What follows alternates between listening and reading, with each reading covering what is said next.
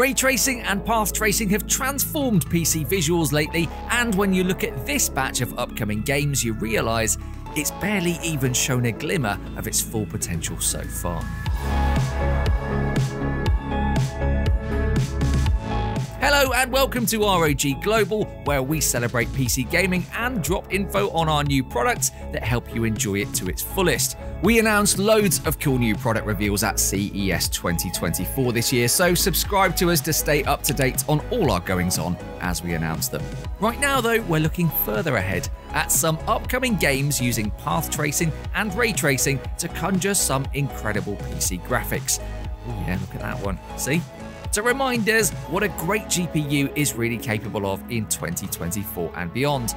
Turn up the neon signs to 11, top up those puddles, and let's get right into it. Imagine if life had an RTX on button and you could just magically make really normal things like a superstore parking lot or your wardrobe look so beautiful that you suddenly couldn't stop staring at it because that's essentially what's happening here. We know all the bits that make up Half-Life 2 so well by now. We've seen this HEV suit more than our own extended family since Valve released the original in 2004, but here we are, stopping and staring at this new version of it like it's the first time we've ever seen first-person shooter body armor. And that makes us very excited for Half Life 2 RTX, a collaboration between Valve and the community that does a lot more than just adding ray tracing, like remodeled and retextured assets. Ray tracing is going to be one of many ways a treasured old game will look new again, and it's actually going to be a thrill to push the graphics preset to max, in Half Life 2, mind you, and get that little flutter of anticipation like, oh, can I actually run this? What will it even look like with everything turned up to 11 stupid? There are no official release dates for this yet, so we're just telling our own ROG Strix 4090 to be patient. One day you'll get to show how amazing you can make City 17 precious silicon.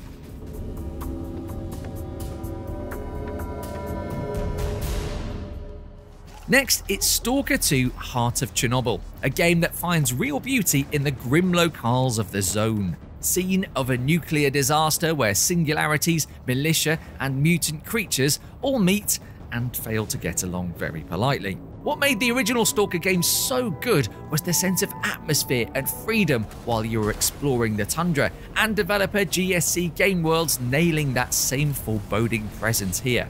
Ray tracing is just one of the effects making the game look so high in fidelity. Shout out to the great facial performance capture here in the cinematics too.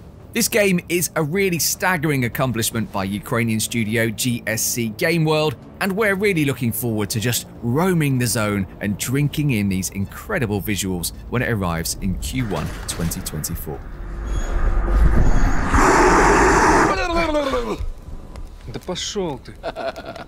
The original Bloodlines was a true masterpiece, a golden nugget of compressed RPG brilliance that immersed us in a totally convincing world of vampires hiding in plain sight in modern day LA. The way vampire society governed itself was fascinating. All the politicking between the clans, all the seedy bars and nightclubs where you picked up quests and then headed out into the night to suck some blood. If Bloodlines 2 has even trace amounts of that same quality, fall 2024 is going to be a very, very good one. It's had a tricky development period so far, having been handed over from Hardsuit Labs to Dear Esther developer The Chinese Room. But the latest trailer shows some very cool vampiric abilities, super detailed character models, and both DLSS and ray tracing were previously confirmed, which is especially good news for a game where you can only go out at night. Think of all the puddles we'll be admiring reflections in when Bloodlines 2 brings a ray traced Seattle to our monitors. You're exactly what he said you'd be. I guess that makes it easier. Makes what easier? What happens next? Things have been a bit quiet lately about Dying 1983, an interactive escape room horror first announced for PS5 and now oddly enough cancelled on PS5 but still coming to other platforms including PC. This footage is from its 2021 trailer, but the Steam page still just lists a 2024 release date, so we're crossing our fingers and polishing our Strix 4090s just in case. Because look at that ray tracing implementation. It's some of the best we've ever seen to date, both in large-scale environmental lighting stages and smaller objects like these impossibly shiny cans. In an escape room puzzler experience like this, the environments are the story, and an important character too in their own right. So even though the actual plot and setting details are thin on the ground, although we can probably take a pretty good guess at the year it's set, we're still so excited to immerse ourselves in this one later in 2024.